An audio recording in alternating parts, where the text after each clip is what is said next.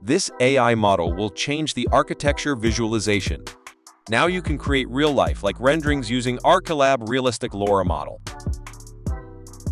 Let's check the Civitai page and some of its output. Pretty impressive, right? To create impressive output, you have to download Reliberate Checkpoint so that it can run smoothly.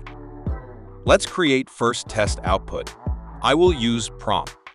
A modern building with cave, ceiling, lots of plants, and room with wooden floor, and add Archilab Realistic LoRa model and follow these steps and settings.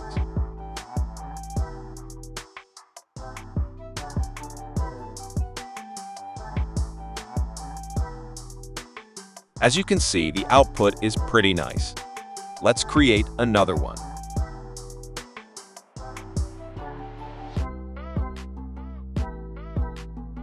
Now this looks great.